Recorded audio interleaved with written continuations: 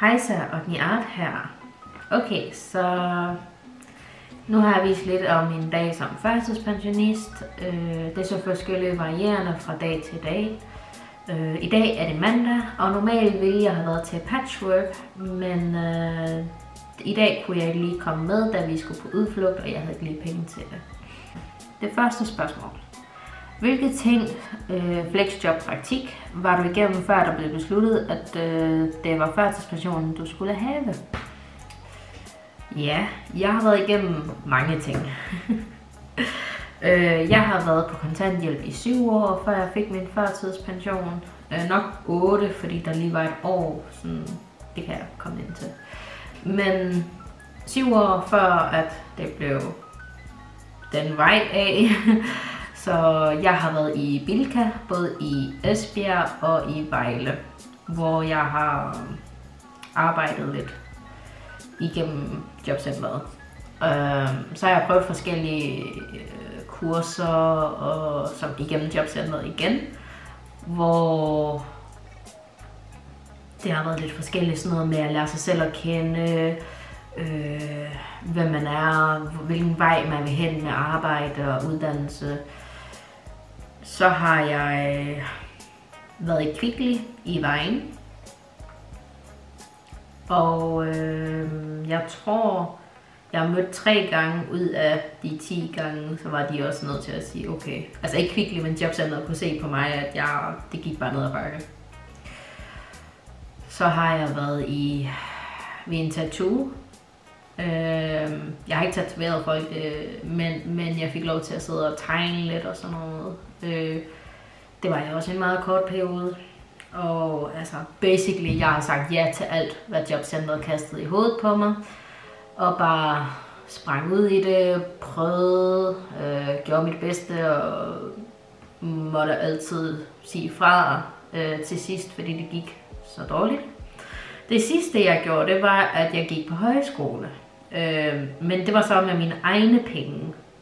Øh, og det tror jeg også har hjulpet lidt på at vise, at det her det er jo noget, jeg gerne vil. Altså, jeg vil jo gerne ud og arbejde, jeg vil jo gerne uddannes og sådan nogle ting. Så jeg har brugt mine egne penge på højskole. Jeg var der i to måneder, hvor jeg fik rigtig, rigtig mange selvmordstanker. Og så kom jeg tilbage til øh, jobcentret. Og det var så der, at de så tænkte, okay, nu skal der ske noget. Lad mig se. Uh, her har vi så et spørgsmål. Uh, hvordan og hvor længe gik det med at få førtidspension? Slags, hvor lang tid tog det for at få førtidspensionen godkendt? Uh, ja, det var fra februar eller marts i 2020, hvor at uh, jeg skulle udfylde en hel masse papirer. Uh, det var bare en hel masse spørgsmål med, hvilke diagnoser jeg havde, og hvad jeg har været igennem, og det var sådan meget forskelligt. Det skulle jeg så udfylde sammen med min, øh, det var så min jobvejleder. Jeg havde en jobvejleder, øh, som var meget venlig til at hjælpe mig med sådan nogle ting. Øh, og, øh, og min sagsbehandler kiggede selvfølgelig også på det, og så var der også noget andet, jeg skulle, jeg skulle igennem. Jeg tror, jeg skulle have en lægeerklæring. Og så fik jeg det sendt ind. Jeg kan ikke huske, hvilken måned jeg fik sendt det ind, men det har nok været omkring april eller sådan noget. Så fik jeg sendt det ind, og så skulle jeg ind i det her ressourcemøde, teamet, noget. Og øh, det var jeg så i oktober-november, hvor jeg kom til det møde. Nej, det har været i december. Det var i december. Jeg kommer ind til mødet, og de har jo så set, at jeg har prøvet i syv år. Jeg har sagt ja til alt, hvad de har kastet i hovedet på mig. Og øh, de blev faktisk bare enige om, at jeg skulle have en førtidspension. Øh, så jeg kom ikke i ressourceforløb eller noget. Det var faktisk direkte til førtidspension. Og jeg fik så min første øh, førtidspensionsløn øh, i januar 2021. Så øh, det gik sådan, altså jeg følte, det gik meget hurtigt. Øh, så har vi det tredje spørgsmål. Hvad følte du, da du fik det godkendt? Ja. øh, jeg var selvfølgelig på en måde sådan fik jeg øh, lettet skuldrene fra en meget tung byrde, for nu havde jeg prøvet i så mange år på uddannelse, altså jeg havde prøvet længe inden jeg blev sygemeldt, så havde jeg jo prøvet alt muligt også. Så jeg følte, det var en byrde, der blev løftet fra mine skuldre. Og øh, jamen altså, øh, jeg følte glad, men jeg følte mig også ked af det, fordi at altså jeg følte mig glad, fordi nu, nu var det endelig nogen, der kunne se det fra min synsvinkel. Jeg havde jo selv opdaget for længe siden, at jeg nok endte i det her førtidspension, hvor jeg blev ved med at blive presset ud i ting, fordi det mente de jo ikke. Øh, så jeg var glad for, at der var nogen, at det ikke bare var mig, der tænkte, okay, jeg er bare skør, eller hvad sker der?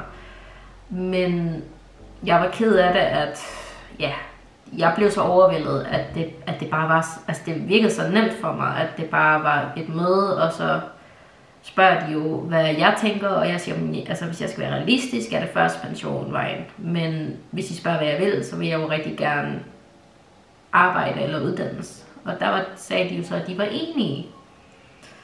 Så jeg var lettet, men selvfølgelig ked af det, at men det har faktisk hjulpet rigtig meget. Øh, nu kommer jeg lidt ind i, at siden jeg har fået min første pension, så har jeg øh, haft meget bedre. Min psyke er blevet bedre, og mit humør er bedre, og jeg har mere overskud til at, og til at, at overskue hverdagen. Så på den måde har det jo hjulpet rigtig meget. Øh, hvad siger andre, når du fortæller, at du er på førtidspensionen? Jeg har ikke mødt nogen, der har været negativ omkring det. Men nu har jeg også en omgangskreds, som er meget forstående. Øh, at, altså de venner, jeg har, de forstår jo, at hvor jeg kommer fra, og hvor jeg har været, og hvor jeg er nu. Øh, og det er jo, altså, jeg holder det ikke hemmeligt, at jeg er på førtidspension, men det er jo ikke fordi, jeg råber det ud til gaden, jeg er førtidspensionist. Så altså, jeg har ikke mødt nogen, der har kigget skævt på mig eller noget endnu. Øh, så det er jeg rigtig taknemmelig for. Og, ja, altså, jeg har, folk har egentlig bare spurgt ind til det. Øh, hvis ikke de har vidst det i forvejen, så har de måske bare spurgt sådan, hvornår fik du det, eller hvordan kan det være? Øh, sådan lidt chill har det været. Øh, hvad får du tiden til at gå med? Jamen, øh, det er lidt forskelligt. Jeg øh, prøver at være meget kreativ. Jeg tegner oftest, og jeg syr kostymer. Jeg er inde i en hobby, der hedder cosplay. Og det er jo så, hvor jeg skal sy kostymer, og så laver jeg gerne fotoshoots eller videoer, øh, tager til konder. Øh, her i den her måned skal jeg for eksempel til J-Popcon, som er i København. Og jeg skal ikke optræde der, men, men jeg skal ind og se showet og egentlig bare nyde kommen så godt som jeg kan i de forskellige kostymer, jeg har lavet. Øh, men til Køjekon sommer, der skal jeg optræde. Og det glæder jeg mig rigtig meget til, for det er faktisk lang tid siden, jeg har optrådt. så ja, det var de spørgsmål, jeg lige havde fået skrabet sammen. Og øh, så siger jeg tak for, at jeg kiggede på min video. Øh, kommentere ned under like videoen, subscribe hvis du ikke har subscribet, alt det der. Øh, og så ses vi jo en anden gang. Hej hej!